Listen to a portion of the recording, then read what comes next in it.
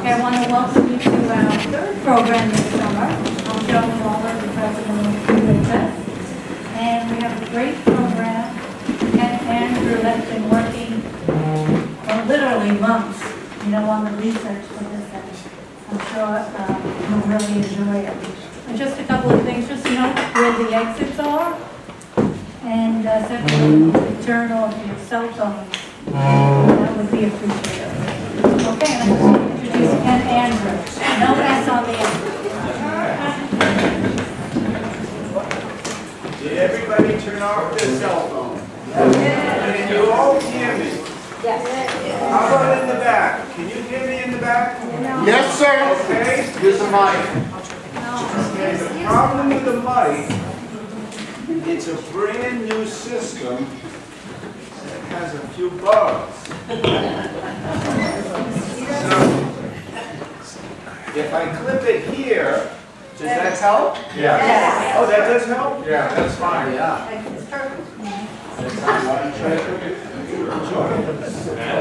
How is that? Can you hear me now? Yeah. All right, everybody in the back hear me? Yeah. Okay. Um, I'll introduce myself first. I'm Ken Andrew. I, for my career, I was a shop teacher. I'm not a historian. I don't know much about Quonnie other than I would drive by. My wife and I grew up in Cranston, Rhode Island, and we would drive by to Westerly, and this was just a road that you'd get to Westerly on. Uh, we owned a house on the Block Island for 20 years, and we would drive by this way because we lived in Connecticut. And it was never a place. Our realtor, Lori Joyelle, kept bringing us back when we were selling the Block Island house and said, we should try here. And it took about four years for us to sell the Block Island house. And we finally found the most beautiful house here in Quonnie. We love it. And so we've been here now, I think, full-time seven years, and we've owned it nine years. So every one of you here probably has more history in the Quonnie area than I do. But I just love looking at maps, and last year, some of you might have come to the presentation with um, the three homes. We did the Buddington Farm, the Sheffield Farm, and Whistling Chimneys. I was the one that did the uh, Buddington Farm, and Tracy, is Tracy here tonight? No, maybe she couldn't make it. Um, so I'm going to do a little review of the Buddington Farm, so anybody who is here, and there's some of those names that you'll see, and I used a, a, a couple of resources, and it's funny because over the course of the time that I've been on the Historical Society, for the last um, maybe four years, I think it's been now, maybe three or four years, um, I got this book right here that Ann Doyle, where's Ann? She's around someplace, she's right back here. And most of you probably seen this before, but I find it, you know, I just pick it up every now and then. I say, wow, that's pretty cool. That's pretty cool. And and I put a I put a sticky beside the page. I say, oh, this is cool. This is cool. And and literally, this is this is just what I and and I just kind of say, wow, this. So I have stolen some of the material from this book, of which we have some for sale back here. If you don't have one, so and, and that uh, correct me if I'm wrong, 100% of the profits go to the Historical Society. So, yeah. Um, I was fortunate enough to be given a, the original unbound version, but this version is actually the one that we're selling, and it has an addendum in it. The unbound one, apparently, I guess they had technical problems with it, and it would fall apart. And this one's in pretty good shape because it was really uh, never used much, but uh, anyway, uh, great book. Thank you. Um, I'm going to start my presentation out tonight with a map. Do you see where it is? Yeah? yeah. Where is it? Post Road. Post Road. What's this right here? Exactly. Can you see that? I'm going to point for the people tonight, and I, I, I, it might twist your head a little bit, because sometimes you're going to look at a map but the map is gonna be orientated north going this way, instead of, right now, north is pretty much straight, straight up. And that's how we normally see things.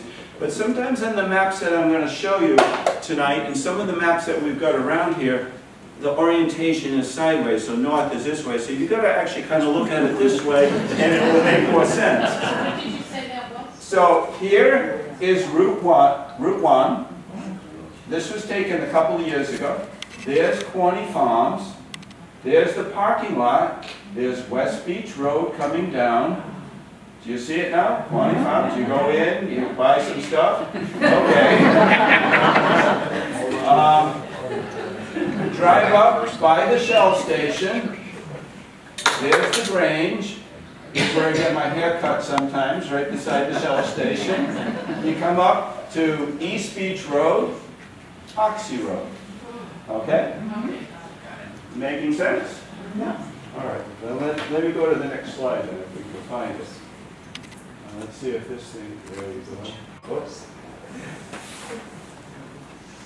That's it. I didn't mean to do this.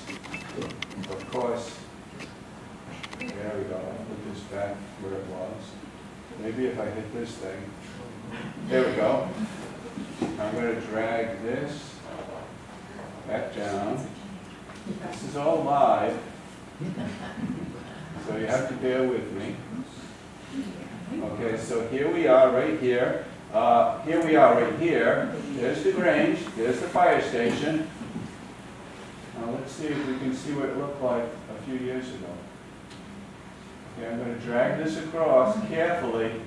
This is 1939. Watch the Grange. See the Grange? Not much there. All right. East Beach Road, West Beach Road. Wow. Okay, later, at the end of the presentation, I'm going to take you and show you how to do that at home. Because it's pretty cool. You'll be able to, it- you'll be able to increase the size of your home, you'll be able to see your neighborhood, you'll see what it looks like a few years ago. You you can go back in time. It'll go back to just after the 1938 hurricane. So what they did is, after the 38 hurricane, they um, took aerial photographs of the whole state, and so you can go any place in the state of Rhode Island. So now, if I'm really lucky, I'll be able to do this. I'll be able to pull up my PowerPoint presentation, and I'll go to this thing here. I have to thank my wife, because she taught me how to do this. All right. You recognize that? Okay, we're looking Central Beach, eastward. There's the beach right there. There's West Pond. Uh, there's Ninigret Pond. Little higher, you see a little bit more of West Beach Road. Remember the Nuns Cottage? Was that last week or the week, or two weeks ago? You see the Nuns Cottage there? It's right about, let's see if I can get this pointer, right about here. Okay. Uh, let's see if we can see, uh, the little cottage. Ken, is that somebody That- breaking into your home? No! I'm looking for Richie's little cottage. There's, it must be right over here. Can you see it, Richie? Yep, you're just about on it. Right there, okay, there's your little, we talked about that little cottage. I don't think the other little cottage is in here that we did, la- that Leah uh, did last week. No, You're not quite there yet. Okay. Reference point on that one? Okay. East Beach Road is right there. This is the Dingle, Bayberry, South Bayberry. There's the Dingle, the little walking path. There's the dirt road. My house is, there's my driveway right there. It's a dirt road that goes right there. and It looks like I got some furniture or something out in the front yard. My house is just out of this slide here. Bob Patron took this with his, you know, took these first three shots with his, um, with his drone. So that gives you an idea of where we're going tonight. Great. So we got, what we're gonna do is the development of the corner road. Sometimes we're gonna have to twist your neck this way, sometimes that way. Because, uh, the orientation of these maps are, are different. Thank you, the audience. Thank you very much for coming. The resources, the people I actually interviewed, Ann Doyle, Pam Lyons, she's a, is she here tonight? Okay, she is the a historian down at the uh, Charlestown Historical Society. I've only met her once, and I talked to her for an hour and a half, and she's, uh, a lot of people might know her already. She's just a a wealth of knowledge. Uh, Art Gantz, uh, Salt Pond Coalition, Leo Manelli, past president of Cuba, and also he was the treasurer of the Cuba, the East Beach Water Association. I'm on the Water Association myself. Uh, Ernie Borner, is Ernie here tonight? No, uh, Ernie is in Osaka on Hoxie Ave. Joanne Nyland, I saw her, she's the vice president. And the thing I remember about her, she gave me a box of old documents and she said, just be careful of these, because I'm told there's bugs in these things. and the, I gotta tell you, Joanne, the funny thing is, uh, tonight I, I had some of those documents out on the table and I saw an ant walking on it, but it wasn't from the box. It was from our countertop. All right. Um, uh, if you haven't had a chance to get up to the town hall, Steve McCandless, he's the GIS coordinator up there. He's unbelievable. I think he's, I forgot how many years he told me that, uh, uh, he helped me with that, that little demonstration I just gave earlier, and, and at the end of the presentation, there'll be more. Tracy Marion, is she's, Marion, she's the owner of the Buddington Farmhouse, and Bob Patron, who couldn't make it, um, he uh, is, on- I didn't show you his house as we uh, looked at it, but that's okay. The Historical Society, I thank, and I thank my wife and family. Tonight's presentation, we're going to take a short walk back in time first. Then we're going to look at the development of the roads in the maps. We'll talk about some of these communities, uh, West Beach, East Beach, Central Beach, Sunrise, and a little bit of Shady Harbor. Anybody from Shady Harbor here tonight? Oh, I was hoping that somebody would come. Okay, and then we'll look at, a quick look at some of the associations and a GIS demonstration, questions and answers. But before I talk about that, we gotta go back in time a little bit. All right, look at this. I just love this guy. Uh, he's actually he, he's actually got uh, you know two guys. This is how people travel back in the day, and they've got their food source hanging right there. So corduroy roads, log roads, like uh, over paths and things, over uh, low spots, and swampy areas. They just put logs across the roads. Uh, in the 1700s, from New York to Boston took six 18-hour days. Okay? And passengers had to rise, I'm reading this, at 2 or 3 in the morning each day for six days to get from New York to Boston. This is a close-up of an express rider. Traveled by uh, express rider from New York to Boston between one and four days, depending on conditions. New York to um, uh, Baltimore, same thing.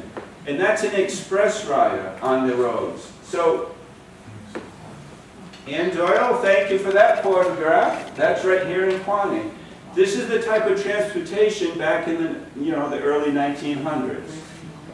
Yeah, 1908.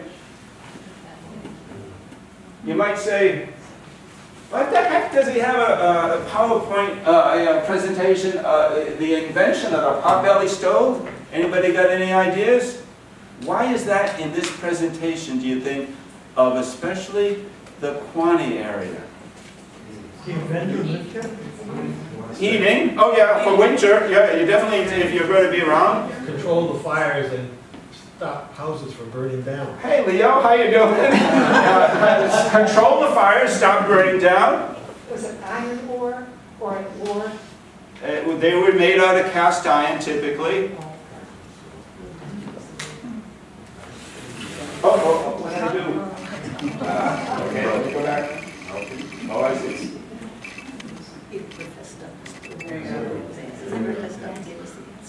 Do you see what it did? It reduced, when you had an open fireplace, you had most of the heat going straight up the chimney. The invention of that thing right there created more leisure time. People weren't having to work as hard. People weren't having to spend all summer chopping wood to get ready for the winter. You went from about 11 cords of wood to heat a normal home to anywhere between four or five cords of wood. And so that was one of the things that helped create a little bit of leisure time. That's on West Beach. It's a porch. What's a porch have to do with it? A porch, back in the early days when the factories were all around, the factory was here, and the factory homes would be around the factory, and people would go and sit on the porch because they didn't have air conditioning. They'd sit out on the porch, and as the factory walk, workers walked by, they'd exchange information to each other. They'd say, hey, Joe, I heard your wife had a baby.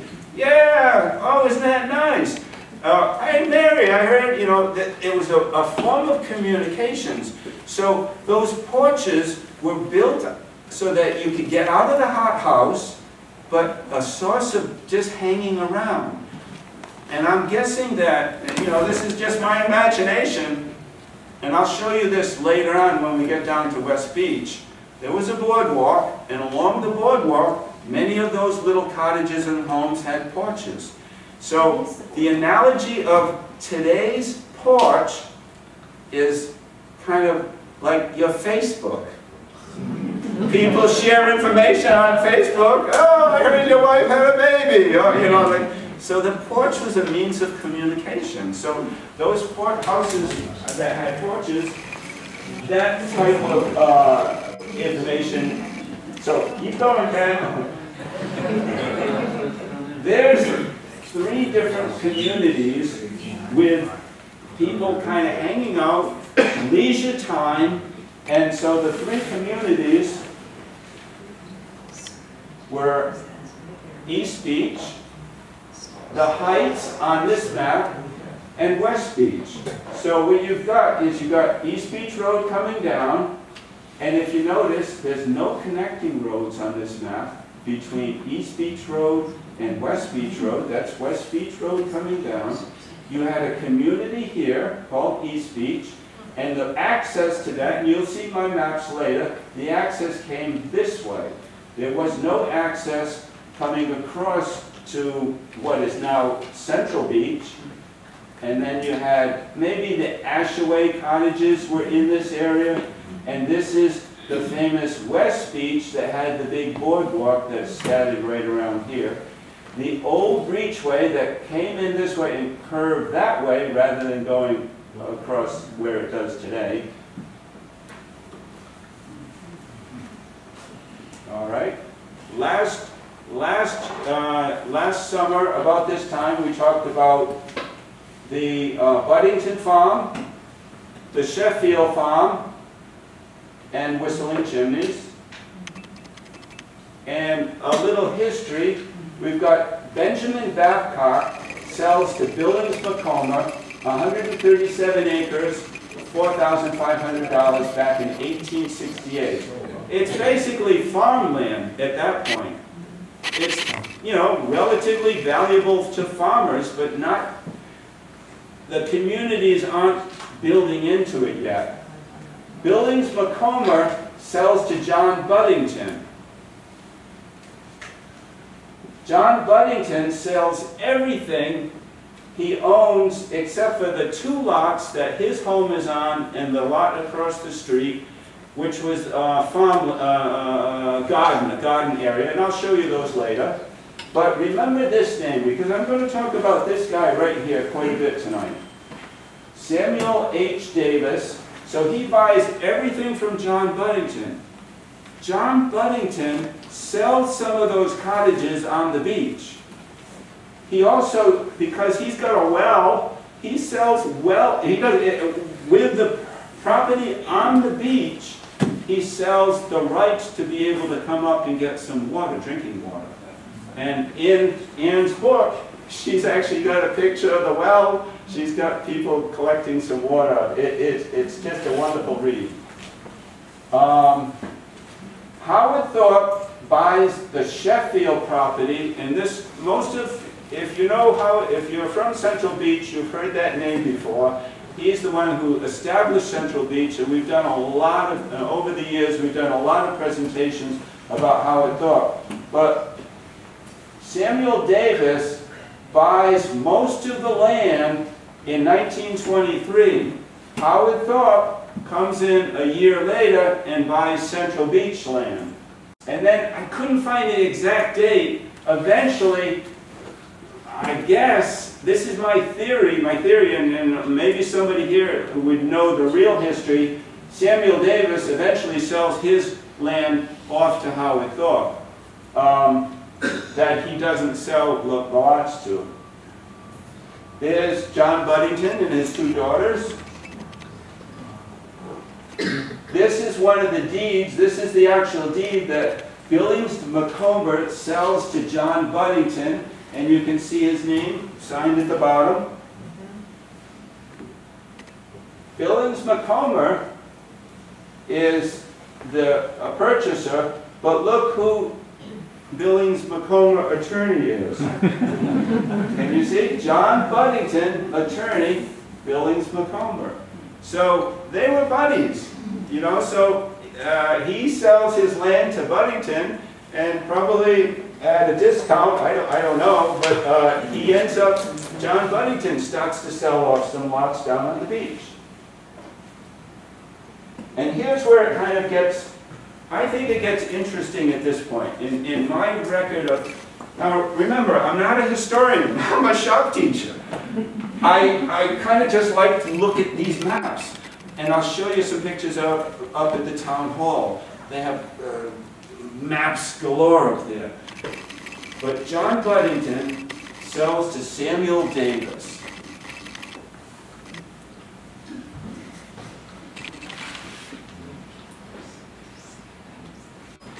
And here's what he sells. He sells, if you notice, the houses that are on the beach at the time are these, these houses here, and they're in these nice colors. John Buddington sells to Samuel Davis this piece of property around these houses because these lots were sold individually. So he sells all of this land, Lot C, Lot B, which goes this way. Oh, oh, do you see where we are? I'm sorry. Sometimes I just assume. This is East Beach Road. This is Blue Shutters. Okay, East Beach Road, I'm sorry, East Beach Road comes down. Blue Shutters, Blue Shutters today is about here. Okay? Right here would be Highland Road. Bob, your house would be right about up here someplace. All right, there's no Highland Road on this map, but there's a path that goes up to the Buddington house because all these homes here can get their drinking water. They walk up in the morning, they send somebody up, get a bucket of drinking water from the well. But there's all the lots, all right? Notice this one right here. I'm going to talk about that one right there for just a second. All right, and the way to get into this community, East Beach, is this way. You didn't come in, there was no, there was no road here at this time. Everybody with me so far? What road is All right. that? What road is that now? Okay, this would, right, this would be Highland Road coming here, and uh, Quonnie, uh, Fresh Rock would be right about here. Okay, that's West Pond, that's Garden Pond. This pond is actually attached, it's no, it's no longer attached today. Uh, the hurricane, 38 hurricane changed that. But, uh, East Pond is still a little pond over here, half that size, and Garden Pond is still there. My home is right behind Garden Pond. The highway, Ken, that's what we're talking about. Oh, the highway is Gone. the beach. It's It's the beach. The parking lot, you would come, the East Beach parking lot, you'd come down uh, Highland Road, and that would probably be about where the parking lot is, or maybe the parking lot is back here, a little bit behind. Okay, and you'll see it in, in a little bit later, but they're, um, they refer to highways like we refer to as roads. So it's not a highway as we think about highway. It, they just use that terminology in maps. All right? You see that house right there? You see what it says, Lily and Jewett? There it is on the beach. All right? They decided, I think it was about 1932, because they had some hurricanes, smaller hurricanes, they didn't have the 38, they had uh, other hurricanes before this, so some people were getting a little nervous on the beach. So they started, a few people started moving the house back. There it is today. All right, that's still there. That's Scott's house, Scott and Helen's house right now, and that's Highland Road that I'm standing taking the picture from. I don't think they could make it tonight, but that's the house. And I'll show you where we're at here now again. Uh, Samuel Davis, East Beach Road, the community that comes in, Samuel Davis says, hey man, I, if I, if I break this into some lots and I can sell this, maybe I can make some money. Right? Why not? Uh, leisure time, people have more leisure time. Um, so if we look at, if I can get this, East Beach Road, Highland Road, that says Ocean View. What's wrong with that? Sea breeze, yeah. So on some of these maps, the names have changed. What is this right here? Charlestown Pond. Ninigret Pond. Okay, so the name sometimes, and actually there's another name for Ninigret. Po, it begins with a P. Poetic. Po- Okay, thank you. Yeah. So, so that I've seen in three names on, on Pond, but Charlestown Pond is in this era of time. Uh, but then it becomes Ninigret Pond. So we've got East Beach Road, Blue Shutters would be over here someplace. There's nothing over here. There's land that's owned by other people here. But Samuel Davis says, okay, I'm going to take my lots and I'm going to start to put in some, some development here. Take a look at that, everybody. I'll show you this a little bit later. My feel, my rec, uh, my theory is that's the, the, the ice house, the missing ice house that, that doesn't show up. There's the ice house. My home is right here. Upper Highland comes down from Overlook, but does not connect like that. But Mr. Davis says, look, I can build lots right up to the pond. I can sell these lots. I can sell these lots. So there are, that's Tracy's house right there, the Buddington Farm. That's another uh, structure. This lot eventually gets, um, the, those two lots get connected. I think that lot's there and this gets cut in half. Or maybe, no, that's about what it is now. That's about what it is today. Uh, Different maps show that particular lot right there different. This right here, this lot and this lot, uh, John Buddington kept those two lots for himself, and so he had farmland over there, and actually, Bob Pompey, that's where your house is, right there. And that's Sea Breeze. This is all part of his, this isn't part of, um, this isn't part of uh, Howard Thorpe's land yet. Howard Thorpe eventually buys this piece of land right there, and that there is Central Beach. Okay, so he buys the Sheffield Farm property, and keep moving, Ken. All right, so that's just a little close-up of the same thing. And right now, on that particular map, it says the heirs of Aaron Lucas. That's who, um, that's who um, Howard Thorpe purchases it from one year from this map. Ken, can I ask you a Yes. question? Yes, In 1923, when Davis did that, were there any town regulations regarding lot size? and things like that? No, no, no, You do no. whatever you wanted. No, you pretty much did what you uh, wanted. Not only that, Leo, is that wait until you see some of these other maps I'll show you. I'm gonna keep going, but I'll come back to that, okay? That's the extension. There's uh, just mm, basically the same thing, but a little blue shutters would sit here. Okay? Samuel Davis's land, just like I showed you in that other map, Samuel Davis, Samuel Da, so he bought, this was, I think, was this lots, B, C, and A, Uh, so he, that was all part of the Buddington Farm. Samuel Davis is not the only one who's thinking about, oh man, people got leisure time, people are getting extra money, people are buying land down on the, uh, down on the pond.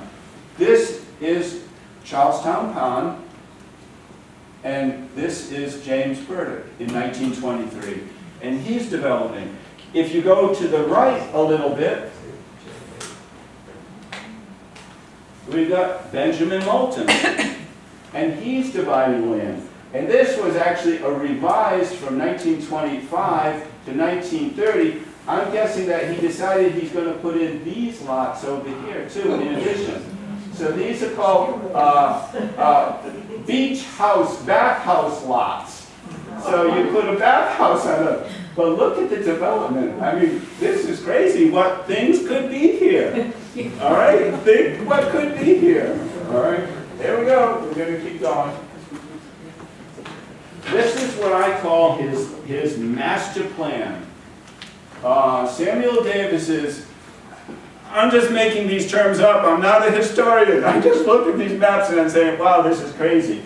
Uh, so I kind of turned that, this is his master plan, and Samuel Davis, 1926. So this is three years after he purchases it, he comes up with this. All of this stuff can be found up at the town hall. This is just at Charlestown Town Hall. You walk into the vault, Okay, now you have to find, kind of look, know what you're going to be looking for. Yours truly. And if you look at this rack here, uh, these are sleeves, and there might be 10 different maps inside this sleeve. And so you look on the computer that, you can do it online, but the line that, if you go up and use their computers, it's much, much faster. You can do it, it's, it's archaic to use the online version of this. And so all of the documents, all of the historical documents that I use are in that room. And so going back to his master plan, East Beach Road, there's the dingle, all right? There, and look how it curves in. I'll show you that later. All right, it curves this way, so the dingle curves that way. But look at the development over here. So Blue Shutters is right about here. Wow. All right, blue shutters, do you see East Beach Road coming down? All right, look at this development. Two roads going this way. But, you know, we're thinking too, it's 1926. All right, we got, we have the benefit of knowing what's going to happen in a few years. All right, and you see what that is? Island Road. So, the community is still there. We've got another road coming in here. So he can't move these houses. He can build around them. But look at this, all along this side of the pond. Okay, look at this. This is what I was going to refer to, Leo. You said, was there any zoning back then? Look at that lot right there. Look at these lots here. Is it wet? All we gotta do is we're just gonna fill it in, get the bulldozer and we'll just fill in the pond. Right? That's what his plan was. That's right in the pond. I mean, and this pond is, you know, and they're selling the land back into the water. Did they actually build on it? No, this is where the, all of the parking lot now is, the, the East Beach parking lot. You come down Seabreeze, you go down Highland Road, and down here they have a little, uh, if you're not familiar with it, there's a little shack there that, uh, we have a, a check-in shack. And then, um, you turn to the left and you go into the parking lot. So this is all parking lot here. But I will, I'll give you a little preview of what I'm gonna say in a minute. Howard Thorpe eventually buys this land. He has a brilliant idea. Okay, so keep that in your, in your thought. Are you with me so far? Am I doing all right? Everybody falling asleep yet? Okay, well, okay, keep going. Now we're going kind of a little north. Okay, so here's Overlook. Overlook, there's Upland. North Road is there, but there's nothing here. All of these lots, again, right into the swamp. All right, this road is not there, this road is not there. Uh, you know, there's many of this, you know, none of this is the, uh, what, no, no, no, no, overlook, yeah, this might actually be there. So it doesn't go, yeah, Buddington would be right here, but then it turns the corner and goes this way. So you've got lots here, and you probably don't have those lots, but that's right in the swamp area, or in the, in the wetlands area, I should say. This road's not there. Did Yeah. the- Did the surveyor go out and look at the property? I- did this, the question is, did the surveyor go out and look at the property? It looks like it had been surveyed because it does show where the wetlands are and whatnot. All right. It says it's surveyed at the top. Yeah, I would think it is. Uh, Waterfront. At this point, at this point, it does say Howard Thorpe here, but notice it's 1926. Howard Thorpe buys in 1920, what did I say? 1924. Okay, Samuel Davis bought in 23. Howard Thorpe buys this property in 24. And so now on this master plan, I call it, Howard Thorpe is recognized as owning that land. All right, so there's a, back a little bit further. The Jewett House, which is, which we just, I showed you the real, that's right about over here someplace. It's, it's still, there it is, right there. All right, it's still there, hasn't been moved back because it's 1926. It gets moved, back in 1923. No, no, no, no, no, yeah, 1932. Yeah. Thank you. Kevin Bisbee, anybody know him? Uh, Shirley uh, Valentine. Um, She's right on, she is my, this is Highland Road, uh, Upper Highland, I should say. That's Upper Highland. It does not come through. It stops maybe about here. My property is right in this area. There's the ice house. There's the Buddington Farm. There's the lot across the street from the Buddington Farm. This house, I'm, I'm sorry, uh, Kevin Bisbee's house is down here someplace. The 38 Hurricane washed it across this pond, and so I've got photographs of when it landed right about there, and uh, then they kind of jacked it up. But as you, as you know, many, a lot of houses got, cro- uh, you know, swished across the pond. Uh, But this was kind of interesting because you can actually see those before pictures. Uh, The ice house, I just pointed it out. That's my, that's my thought, where's the end? I think that, I think that's the ice house Oh, right there. so. Yes. Because it's right on the pond, and it's not Kevin Bisbee's because it's too early. 1938 hasn't arrived yet. So just another map of it, and there it is. Okay, there's the big picture. Um, I had to actually, when I took those pictures, um, that big map is folded up inside one of those sleeves. And so I was, had to take the sleeve apart with a screwdriver and lay it out on the floor, and that's about as high as I could get with my camera to take those pictures that you just saw. Um, But you can get this right on, uh, right on the website.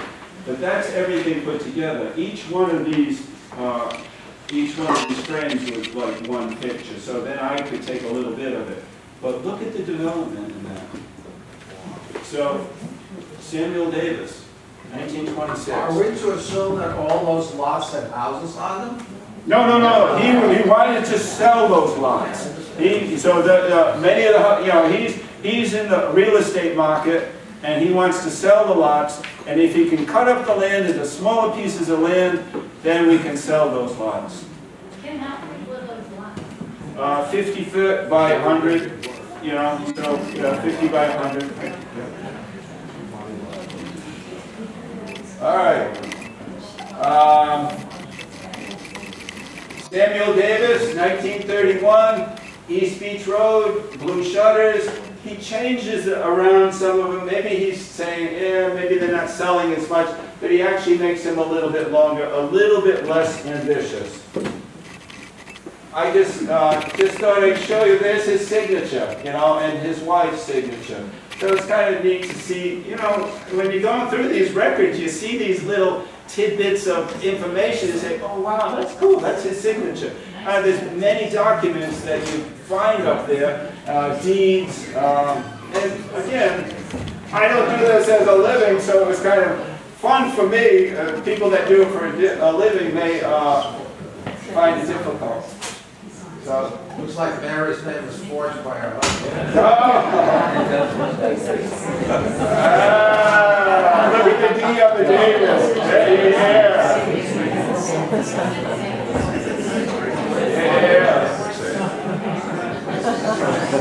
Good point.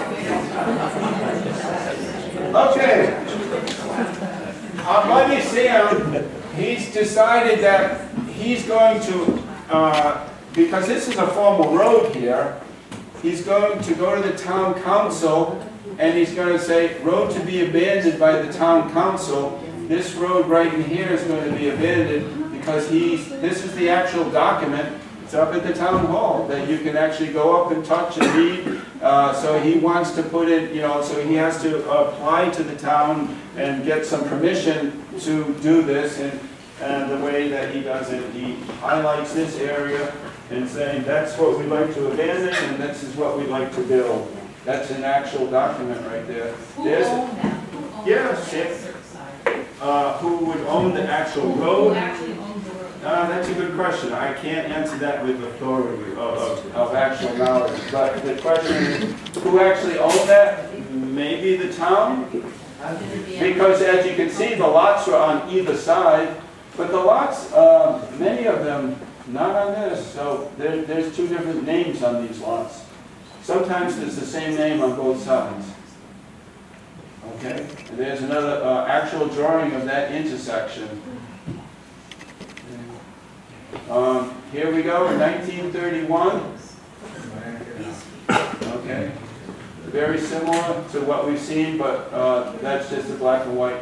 And that, I actually had to, uh, tape it and, because it didn't come in one piece, and so I actually taped that. But you can actually make, you go up to the town council, I mean, the town hall, and you can print some of it out, but sometimes on their records, it's, it's in two places, so you physically have to cut and paste it.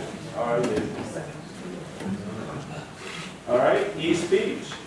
That's what the, that's what the beach is. They're sitting on the beach. This is family, uh, friends of Ann, uh, this is a photograph that Ann Doyle has, and she let me share this with her. And, uh, some just, you know, out there having fun on the beach. They got a phonograph out there. That must have been pretty cool technology. You know, that day to have the phonograph out on the beach, you get your picture taken with it. Um, Cleveland. I wondered, and this is what I kind of, uh, uh, why I kind of wondered myself. I was like, well, why did they start to form these associations? What was the, what was the reason why an association even got formed in the beginning? Why not just have a piece of property? Um, The residents, originally, it was called the Quonochontaug East Beach Civic Improvement Association. Howard Thorpe offered to sell some of those beachfront lot, uh, lots as a parking lot. All right? Think of it as a, a- a- an ingenious idea of a realtor to make the lots in the back more attractive. Hey, how about if I sell you some lots up on the beach so that the people who are back there can be able to drive to the beach and rather than having to walk all of that distance. That makes it more attractive. It also makes that real estate in the back more appealing to sell. And everything I've read and all of the oral histories that are right here in, um, in, in, in our archives that everybody has access to, and I, I actually just print them out, and I just love reading some of these old um, documents that people who are, some have passed on, um, but we have oral histories here that people have interviewed these folks, and everybody that I've read seems to like Howard Thorpe. He's got a nice personality, and so he buys from Samuel Davis everything that Samuel Davis doesn't buy, uh, doesn't sell, and my guess is maybe Samuel Davis had a little, and I don't know this, I'm just guessing, Samuel Davis has a little bit of overthought and 38 hurricane hits, and maybe he gets wiped out financially. So shortly after that, that Howard Thorpe then comes into the picture of selling East Beach land, uh, you know, acquiring more land to sell. Howard Thorpe says, hey, those lots are more attractive if I got a beachfront that I can have people park. And that happens over in Saco also. So it's not, East Beach isn't the only place. So he offers to sell um, the land, but to be able to sell land, and Leo actually explained this to me, to be able to sell land, you can't sell something to like a homeowners association because it's not a legal entity. So he gets uh, Queber, Howard Thorpe gets Queber to incorporate. And what that means is that now you can officially or you can legally sell property to an incorporated body. You can't sell, I guess, uh, homeowners association can't own property. I'm not a lawyer, I don't know, but that's the way, it makes sense to me. He incorporates it, then he sells that land, uh, he sells that land as parking lot to the association, but the association that's formed has to raise some money to be able to pay Howard Thorpe, and they, they have, and I got a stack of these old, uh, uh, uh, bonds, and they're the original bonds that, and the top one is Jan Beck. And some of you probably know the family, and she's on East Beach now. And this document here is that everybody paid twenty-five dollars for the bond, so they were able to accumulate a bunch of money, and then every year, they would, they would give the money back to the people who had uh, offered to buy the bond. So they got that twenty-five dollars back. And back then, in nineteen fifty-eight, um, this was the way to raise some money. Do I have that kind of right, Leo? Well, just to Yeah. add briefly to it. Yeah. The- bonds were twenty-five dollars each, and many people bought more than one bond. You couldn't Oh, okay. Sell one bond and raise the money adequately. And what happened afterwards was each bond was numbered, and at each annual meeting, they would draw numbers out of the hat. A few numbers, depending on how much money they had in the treasury, and those were the bonds that got paid off. And Yeah. eventually, they all got paid And back. they eventually, everybody got their money back. And so it's a pretty neat way to do it. But this is, uh, you know, I've got a stack of these uh, uh, sitting on, uh, at home right now that I will return to Joanne. Uh, But it's just kind of neat to actually touch these things and say, okay, you gotta raise money somehow. SACA. All right, Sunrise uh, Civic Association. Bill Penhollow was the first president. I interviewed uh, Ernie Borner He's a longtime resident, and later tonight, I'm gonna show you what it looked like back then. Um, This is the map that you're gonna have to twist your head. This is the map, this is Post Road, or Route One. So kind of tip your head this way, and look at it this way. So Route One is this way. This is Hoxie Avenue. This is East Beach Road. The church would be right about here. The apartments are right about here. Okay, so Hoxie Avenue comes down this way. And these are all the lots that um, Howard Thorpe has purchased. Uh, Yes, Charlestown uh, Estates is Howard Thorpe. So he's selling these lots. That's the, that's the southern section. So here we've got Hoxie Avenue going to Moulton, and over here would be Paradise, East Beach Road. So these lots here, Ernie tells me, Ernie is about right here, I, no, this, might, he might be two lots right here. He might be right here. I'll, I'll, I'll kind of look at it a little bit later.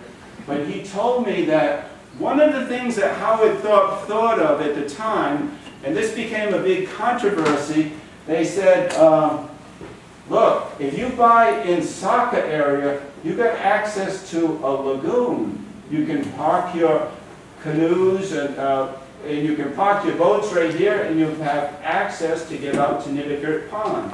Remember, we're looking at it like this. But that lagoon shows up in here. And as time goes on, Ernie's telling me that the wind direction is predominantly um, eastward, so the lagoon gets filled up with mud, so it, it, it's hard to keep that lagoon, you know, somebody's got to pay to get it dug out. But he said at the time when he bought his, I remember in the mid-fifties, right here, he bought, he bought one lot for a thousand dollars. Across the street, if he wanted that lot, that would be fifty dollars. But he said when he bought his lot in the, mm, I want to say uh, 53, 54, 55, I just don't recall. He said, I could have bought all the way up to Route 1. There was nobody, nobody there. But he wanted to be on the pond, and he said there was no other development all the way up to Route 1. He could have bought it all. But, um, you know, back then, a thousand dollars is a thousand dollars, That- that's a lot of money. And so he ended up buying, I think he's got actually a double lot. And I think the story is, is that somebody was thinking about buying it, and uh, Howard Thorpe goes to Ernie and sa- uh, says, hey, uh, I got somebody who might want to buy it, are you sure you don't want to take it? And he says, yeah, I'll take it, uh, okay, just give me a hundred dollars now, and just pay me off. And apparently, I've heard that story many, many times. Howard Thorpe just said, yeah, just give me a hundred bucks now and pay me a hundred dollars and, uh, you know, over time, uh, a month, and, and it's gonna be yours. Does that sound familiar? Okay. West Beach area, development eighteen hundreds. There's three associations, Quonochontaug Beach, there's about, there's, and, and, uh, Donna, you may have to help me on this. We've got 30, or Steve, you may have to help me on this. We've got 30 regular members in the Quonochontaug East Beach, uh, uh, Beach Association, and that started in around uh, 1980. They also have a tennis association with 16 members, and they also have a small water company that are attached to, 14 houses attached to that. Straight out of Ann's book. If you don't have it, you should reread, if you have it, reread it. If you don't, you should just get a copy. There's the boardwalk. You're looking from the breachway, the old breachway, out into the Atlantic Ocean. So you're on the breachway side looking out.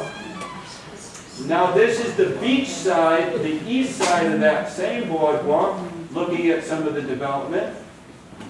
And there's the original plan. And if you have a chance, it's displayed in that corner right there, the real copy.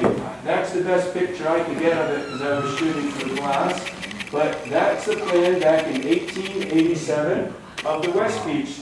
Um, so, again, uh, uh, kind of turn it this way, the Atlantic Ocean is, um, over here, okay, and this would be the breachway coming in, so you kind of had to turn it like that in your head if you're thinking north-south. Little close-up. Similar, 1912, Ken, yeah, over here. I'm sorry, yep, go ahead, Lena. owned the, Howard Thorpe own that. Who No, owned that? Who um, was that one person? Isaac Briggs, Oh, and this, you know, at that time, in in 1912, and this was the Babcocks, okay? So that would be the Babcocks, their names are right there on that plan, so in 1887, the Babcocks owned the West Beach area. And then, this is still the West Beach now, and now Isaac Briggs.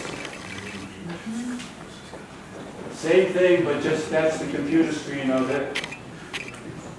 And Yeah, Babcock's Yeah. actually had a farm and they oh, owned Whistling Chimneys and all that land. okay, so here we go. Here's Whistling Chimneys right about here. So they would have owned all of this, and there it is, Babcock, right here on this map. Thank you, Ann. Mm-hmm. All right, and so they would have owned the Bab, the Babcock farm. Farmland, would- I kind of was, in in looking at these maps, I was kind of enthralled at kind of looking. We're almost to the end of where I have a big treat to show you, all right? How am I doing? I, I'm, I- I'm gonna keep moving. Whistling Chimneys, we've got this funny corner. We've got uh, Sheffield Farm sitting right there. Farmland, very valuable. So that's why if you go down West Beach Road, then you go to Old West Beach Road, and it makes that funny little corner. But nowadays, we have the main road that goes this way, and that, there's the Sheffield Farm. Here's the Sheffield Farm here. West Beach Road coming down. Howard Thorpe puts in, wants to put in this road. Central coming in this way. Look over here, two wells and a pump house. That's about where the, uh, where the ball field is. Okay? So the original wells were over here, they're not back behind Seabreeze. The original wells and pump house were right here on this map. But this corner here, if, right now, you come down to Sheffield Farm and you go that way. So on this map, in 1925, after Thorpe has purchased it, he's putting in all of this subdivisions here, but there's the Sheffield Farm and another uh, small structure out back. But the road hasn't been changed. West Beach Road comes down and makes that little corner. Unfortunately, I didn't get a very good shot of that. But here's a close-up of the same thing. Another close-up. 1930, he says, you know what? Now you gotta twist your head a little bit. Here's West Beach Road coming down from the north. There's the old west, it says Old Highway, but he's proposing to put in, cut this out, so the Sheffield Farm sits right about here. All right, but that's one of the original drawings showing how that road changed. Central Beach Fire District, we've talked a lot about that. I think you know a lot about this. Most of the people from Central Beach, uh, they incorporated it much earlier because Howard Thorpe purchased the land and he didn't have to kind of convince anybody to incorporate that land. He, he basically made it into a fire district, which then had the ability to be able to uh, purchase, uh, purchase apparatus for fire protection, supplying water, maintenance and uh, improving roads, and collecting garbage. There it is today. So if you come down West Beach Road, there's Old West Beach Road. Here's the Sheffield Farm, right about, right in this area here. Is it here? Yeah, yeah, there, it is. So if you think there's the central location, central uh, of Sheffield Farm, this was all farmland surrounded by the farm. You come down to the farm. Shady Harbor. Some people don't think Shady Harbor is part of the peninsula. I wanted to just kind of just throw a few slides up here of the development of Shady Harbor.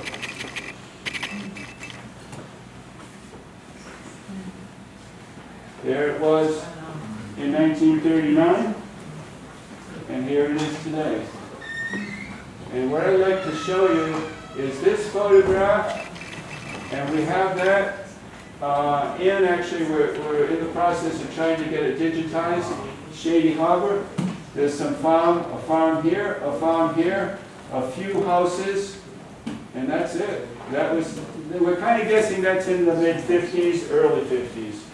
And what I'd like to do now is I'd like to go back to this, and I, hopefully, we won't take too much time, but I don't see too many people leaving. I'm hoping, I'm gonna, I'm gonna do this fast, and I'm gonna walk you through it fast, and this is gonna be dangerous for me, because remember I showed you this? And I did this? I'm gonna show you how to do that at home. Because the neatest thing about this is you can let it regenerate. It sometimes takes a little time to regenerate. You can go any place in Rhode Island.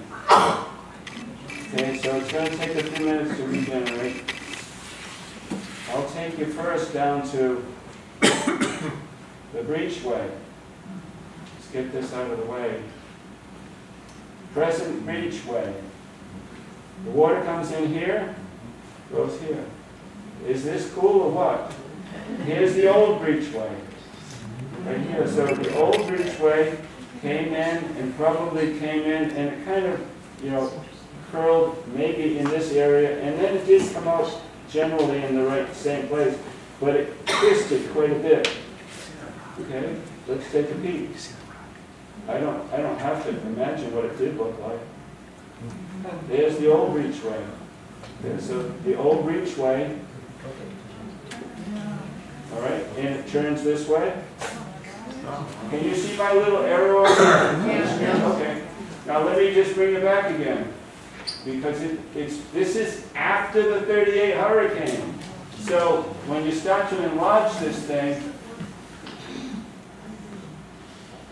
let me bring it up a little closer. Okay, so there's the breachway.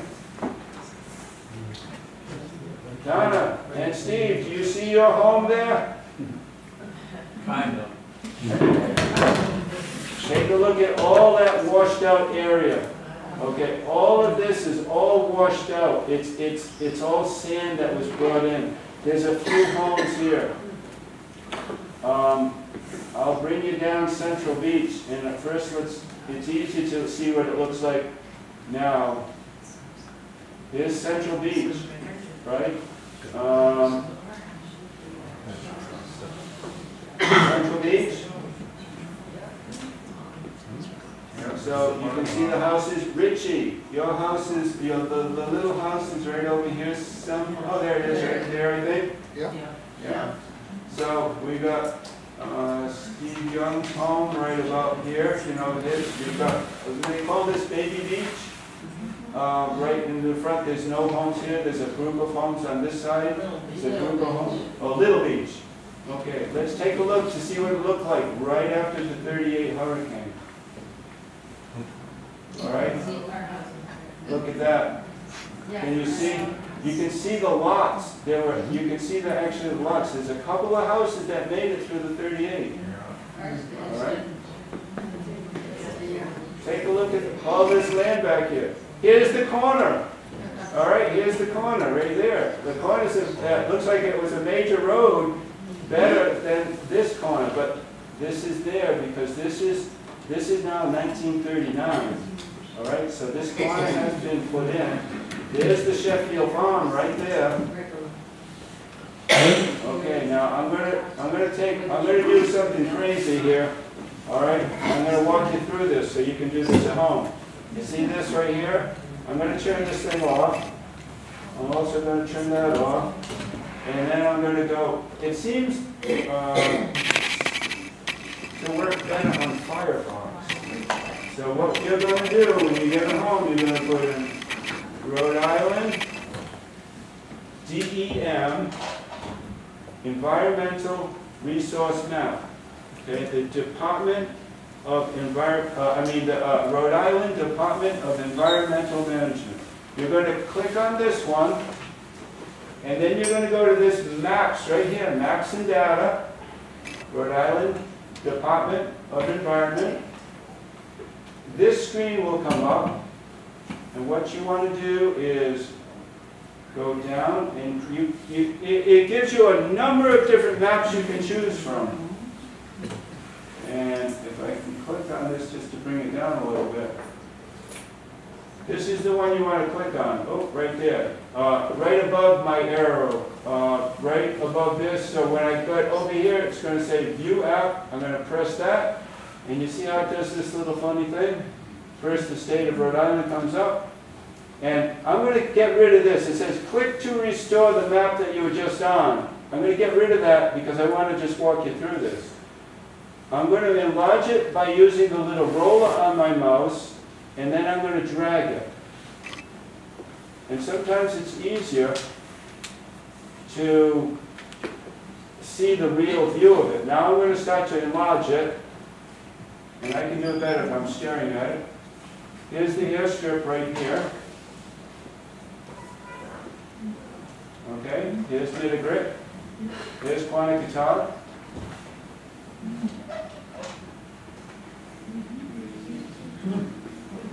Now you have to let it refresh. Here's Route 1 up here, it's refreshing. Here's where we're sitting right now. All right? I'm just trying to do it slow so it slowly, it, it'll come in focus. The better internet that you have, the more it'll come in focus. Now, if you wanted to just look at it, well, what's that look like in 1988? You come over here to this right-hand side of the screen. All right? Now remember, here's a little bit of a problem. Back in 88, they actually just took photographs and then they pasted the photographs together. The earlier ones, you see, so these are just photographs that they somebody actually cut and paste. So sometimes you end up with lines that are not a road, like this line right here is not a road, but I can zoom in on that and I can drag it over and I can kind of look for the Grange.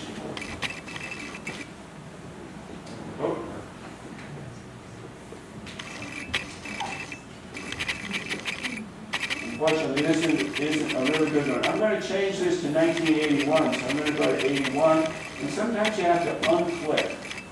So there's 1981. So you can do this. You, you following me so far? All right, so now I'm going to do this. I'm going to go down. I still have an aerial photo clicked open right here of 2022, 2023. So now I'm going to go back up, and I'm going to unclick this one, and I'm going to go to 1939. That's the oldest. And then I'm going to go up to the upper right-hand corner. You see this, that, that thing right there? That's the swiping bar. So what you're going to do is hit that little thing, and now all I need to do is drag it back and forth. Is that cool? I'm going to drag this over here so we can look at Quonnie Farm. Uh, Ann Lyons told me a really interesting story, and it disproves it right here.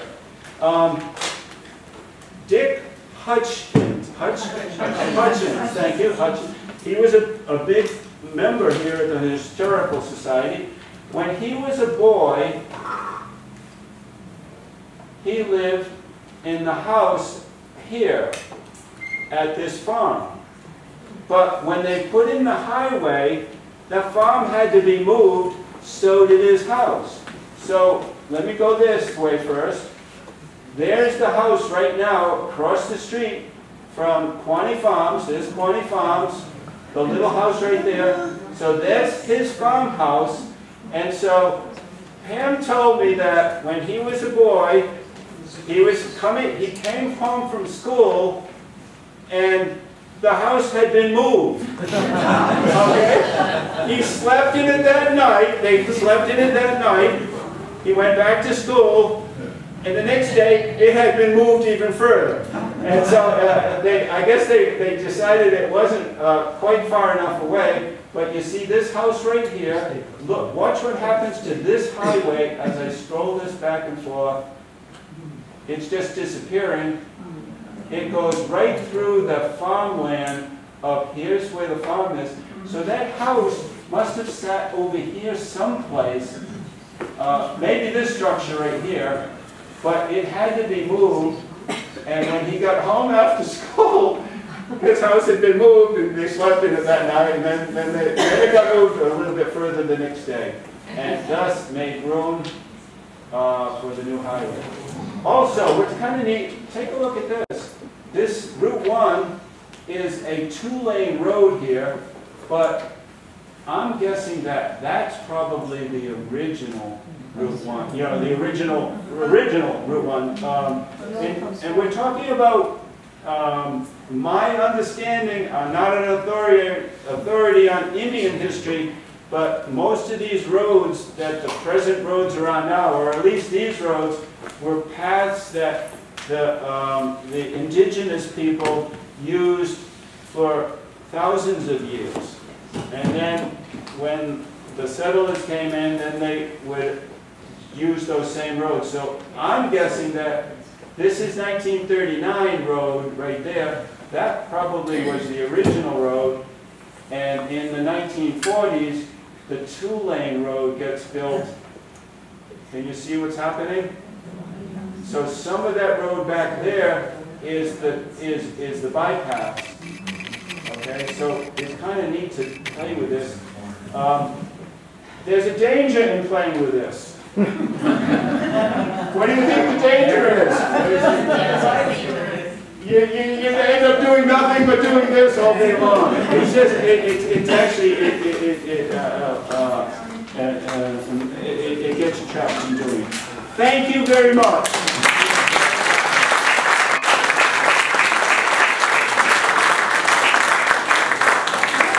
Look at those links on our website, you know, along with the the videos, so you know, how you have everything. So anyway, thank you, Ken, that was. uh, Good that job, Ken. You can tell that you get lots maps. But uh, anyway, so thank you for coming, and uh, we have another program in two weeks. No, And- Oh, do we have a question? How much land did Howard Thorpe like? At Hoxie Avenue, Central Beach? Yeah, he ended up buying uh, uh, the uh, the Hoxie Avenue section. That was uh, different, that was the Sackett development. And then he bought the land from, uh, and sold land in East Beach. I, I- I'm not, I didn't really go into the history of Howard Thorpe as much as others, so I wouldn't want to venture. Yeah, okay. Any other questions? Yeah. Okay. Thank okay, you. thank you. Hope thank you.